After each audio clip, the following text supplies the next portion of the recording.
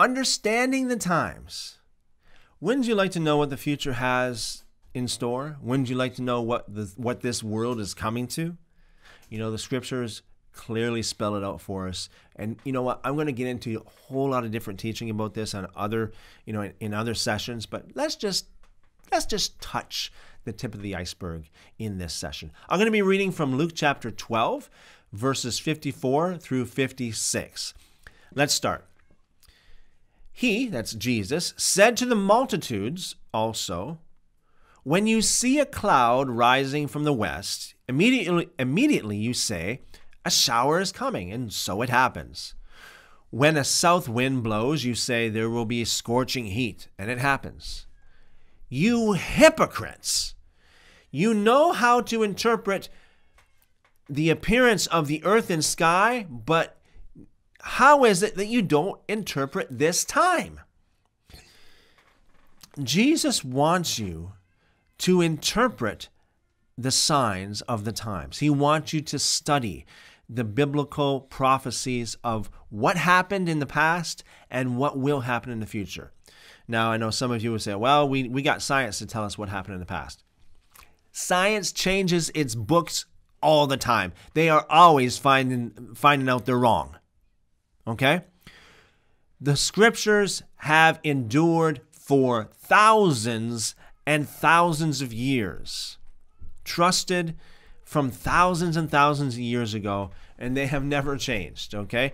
Yes, we have different versions, but the originals remain pretty much, I mean, the originals remain the same. Uh, however, we have many different versions that interpret it a little bit different here and there do your studies, okay? You know, um, you know, some people think that just because there are different versions, there are different Bibles. Well, not really. I mean, we got one one uh, one basic scope of scripture that we need to go by and we've got manuscripts that we need to go by. And i know that some manuscripts differ from the others especially new testament manuscripts.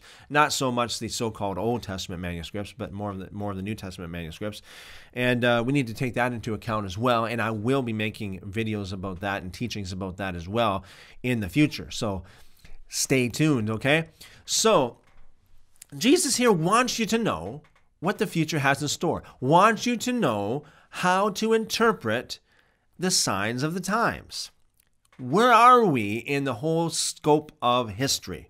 You know, if there is a beginning of the world and there if, if there will be an end of the world, Jesus wants you to know where exactly we are on this scale. Okay? And we can know with pretty good precision where we are on this scale.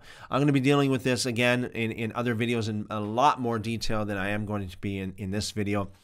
But uh, in the light of this, you know, very, very small passage that we're reading uh, today, um, we can draw out a lot of things from this. Jesus uh, wants you to know.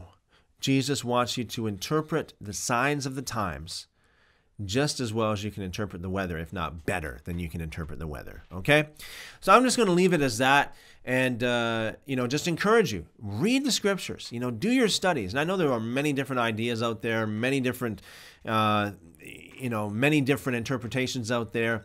It's good to know all the interpretations and different stuff like that, as much as there are a lot of really uh, inaccurate ones and very crazy ones. But read the scriptures for yourself, think for yourself, and God will show you.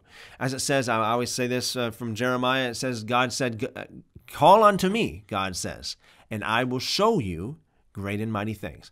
So, as you search out His will and His way, and you know what the Bible says and what the what the scriptures say about the future and where we are today, May God enlighten the eyes of your understanding. And stay tuned because I'm going to be making a lot more videos about this.